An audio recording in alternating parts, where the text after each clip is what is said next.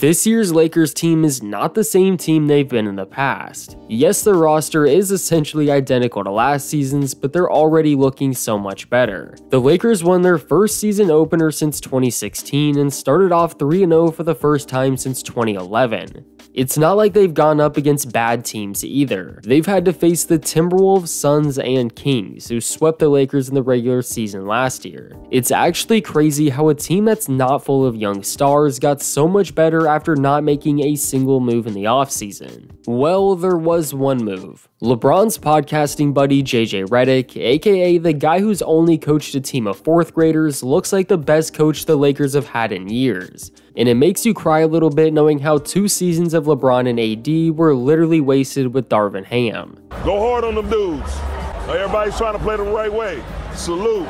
JJ Redick is probably the biggest reason for this sudden turnaround. It's not just me saying that either. Lakers players themselves are taking shots at Darvin Ham every chance they get. They obviously have a good roster. I mean, it's essentially the same team that went to the conference finals two seasons ago. But it's the way he's actually utilizing the talent that's changed everything. First of all, they run an offense. I haven't seen the Lakers run an actual offense in years.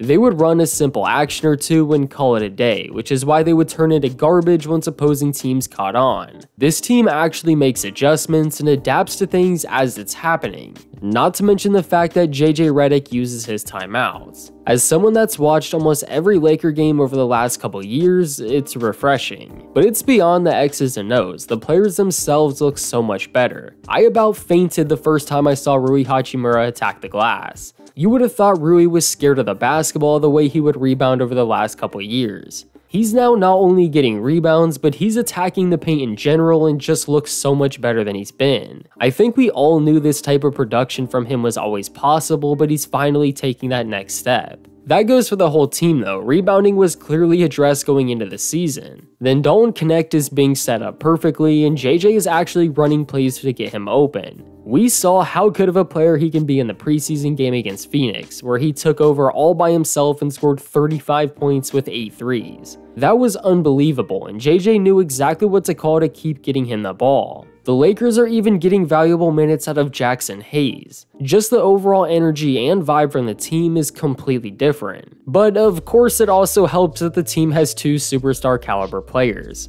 I really think winning that gold medal together sparked something in them, especially Anthony Davis, who's looking like an early MVP and DPOY candidate. In the first few games, he's averaging over 30 points and 10 rebounds while shooting like 60% from the field. I mean, in just the third game of the season, they were able to break the Kings and Sabonis curse.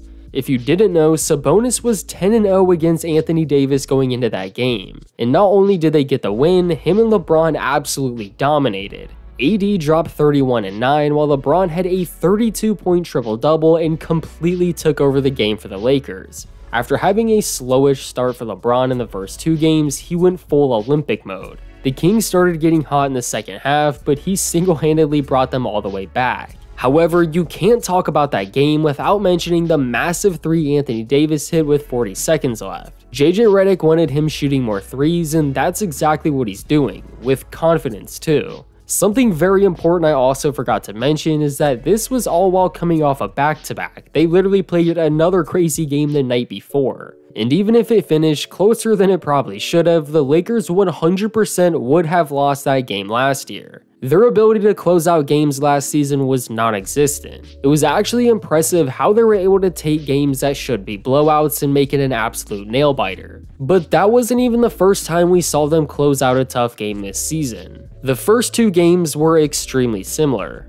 Against the Timberwolves, they started off hot, which is something that hasn't happened since like 2021. It got closer in the second half, but they were able to close it out versus a really solid team. But the game against Phoenix is a perfect example of how much better this team has gotten, although the Kings game is also a pretty good example. Speaking of starting hot, the Suns made 21 of their first 30 shots and made 9 straight threes at one point. They were up 20 points with almost the entire second quarter to go. The Lakers weren't playing the best defense to start out, but they still made several difficult shots even when they were playing good defense. However, instead of letting the game get completely out of their hands, they started to fight back. The second half was a whole different game. The Suns eventually cooled off while the Lakers made adjustments on both sides of the floor. That game alone gave me, and I'm sure everybody on the team, reassurance that they do have the ability to come back and close things out. So many people thought they would start the season with multiple losses due to their difficult starting schedule, but they're quickly showing they aren't the same team as previous years.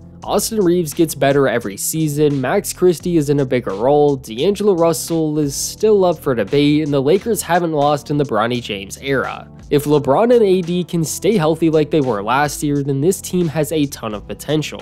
LeBron even said that he's planning on playing all 82 games as long as he doesn't get hurt although LeBron isn't known to be the most truthful person in the world. And even though they didn't make that offseason move that you were probably hoping for as a Laker fan, chemistry can be a weapon of its own. Plus, if Vanderbilt can ever come back from his injury, they become an even better team defensively, which is always going to be their biggest problem. Obviously, it's still early in the season, and everything I said in this video could quickly fall apart, and I do still expect there to be growing pains and ups and downs. However, if this is just the beginning of what there is to come, then they should easily be considered a serious championship contender. But let me know what you think about this current Lakers team, and please leave a like on the video to support the channel. Also, subscribe if you're new for more basketball videos just like this one.